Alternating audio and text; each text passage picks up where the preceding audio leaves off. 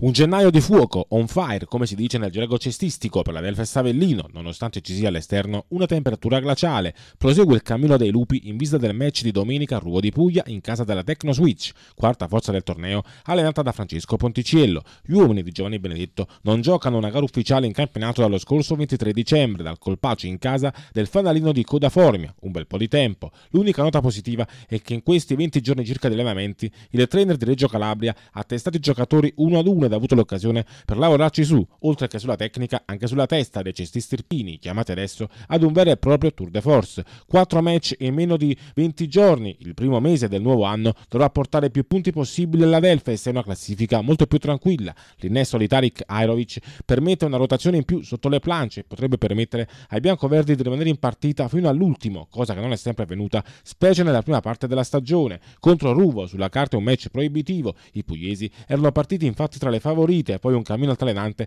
ne ha compromesso il cammino verso la vetta, che però resta solo a quattro lunghezze. Le gare del Mauro invece contro Viala Reggio Calabria, prima del giorno di ritorno, e Torrenova non sono assolutamente da sbagliare, come non lo è lo sconto diretto di Cassino previsto per il 29 gennaio.